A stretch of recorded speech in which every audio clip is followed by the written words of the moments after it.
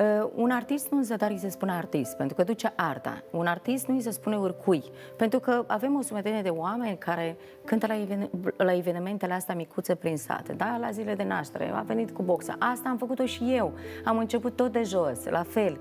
Și o fac și în continuare. Stând la masă la o zi de naștere, cânt, uh, de pahar, de tot. Cântăm împreună. Dar uh, această pandemie care ne-a învățat și ne-a dat un pic peste nas, uh, pentru că noi, mai nou, a început lumea să mă contacteze, să-mi zică, doamna Victoria, dar nu veniți la o surpriză la domiciliu. Eu știam că lucrurile astea le făceam la evenimentele astea în care se făcea cu 100 de persoane, cu 50 de persoane. Am stat, de ce nu? Am mers la un eveniment, a fost foarte frumos, acolo unde era lumea care te primește cu aplauze, care chiar dacă nu cunoaște cine ești tu, pentru că nu poate să cunoască fiecare om cine ești tu, hai să zicem, da? Dar m-am ciocnit cu momente în care oamenii pur și simplu m-au întors de la poartă sau au zis, noi nu suntem pregătiți să ne filmați, vă rog frumos să mai filmați, dar vă rog frumos. Uh, și eu știam că cineva m-a trimis să fac o surpriză.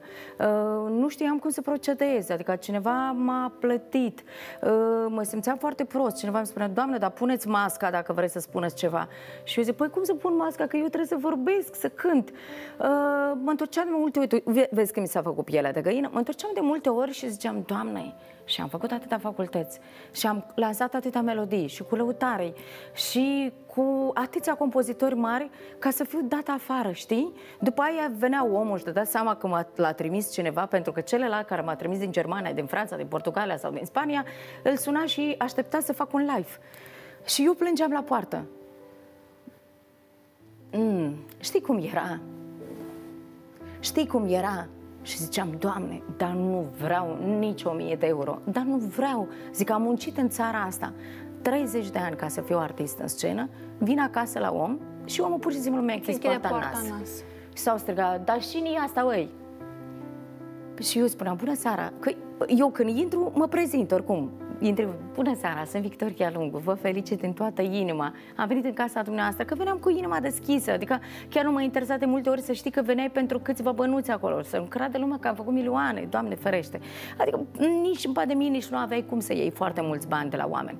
Dar atât de mult mă deranja pentru că în momentul când tu începi să faci un interviu și eu făceam niște scenarii bine regizate, în care luam un interviu, oamenii stăteau de acolo pe live, se uitau, după aia cântam ceva exact pentru mama sau pentru părinți sau pentru copil sau pentru cineva uh, și oamenii într-un moment, știi, uh, tu îi cânți lui și uh, el, um, hai fa, și mai cânți acolo. Adică cam chestii din asta. Adică eu da, înțeleg că noi să vorbim cu despre diferiți. asta ca cei de acasă să înțeleagă și cealaltă parte a monedei care nu se vede de obicei la, la televizor. Ei cred că artiștii au o viață perfectă. Și respectul nu l-a anulat nimeni pentru orice persoană. Și atunci când cineva uh, vine să-ți cânte, trebuie să-l asculti și cineva când vine și îți bate la ușă, trebuie să-l primești. Bine, nu, um, eu pot să zic aici că omul nu este, uh, nu este obligat, hai să zicem, să te asculte sau să te iubească sau să-ți deschidă ușa. Dar este bunul simț în care dacă cineva a vrut să-ți facă o surpriză și omul ăla s-a gândit la tine și era pe moment asta toate lucrurile, uh, eu m-am gândit că, na, eu fac asta pentru cel care m-a trimis și pentru omagiat. La masă mai erau și alți oameni, pentru că eu am primit foarte multe mesaje uh, pe contul meu în care îmi spunea nu vă e rușine, păi mergeți acasă la om, dar ce omul dacă vrea să mănânce în momentul ăla?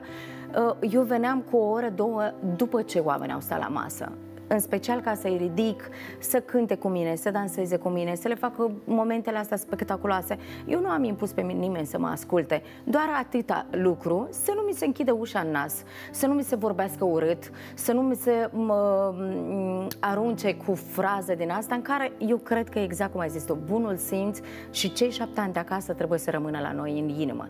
Și cred că multe lucruri din asta, după aia n-am mai vrut, indiferent ce a fost, nu am mai vrut să fac surprize la domiciliu, nici pentru pentru un ban în plus și am zis că o să aleg eu evenimentele. Uh, nu sunt uh, femeia care a murit vreodată de foame, niciodată. Și dacă aș muri de foame, m-aș duce și aș face orice. M-aș face uh, profesoară de canto, cum s-a mai făcut unele colege. Uh-huh. Aș face business, aș face orice. Mă aduce capul la multe lucruri pe care le-aș face. Dar am zis pentru asta am ajuns artistă ca să mă respect și cu asta am zis tot. Da, este regretabil pentru că din cauza acestui fenomen început odată cu pandemia. Foarte mulți artiști s-au decepționat și chiar au început să renunțe la cariera lor pentru că am mai auzit astfel de istorii.